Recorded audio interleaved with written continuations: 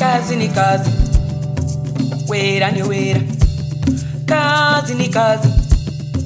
Wera ni wera. Mama.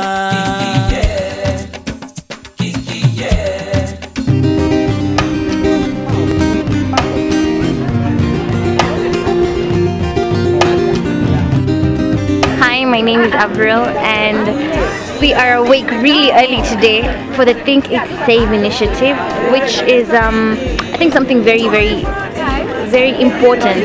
Because as, as, as a community, we have so much that we can we can do for the environment, and one of the things is taking care of our environment by not wasting food, by not wasting our resources.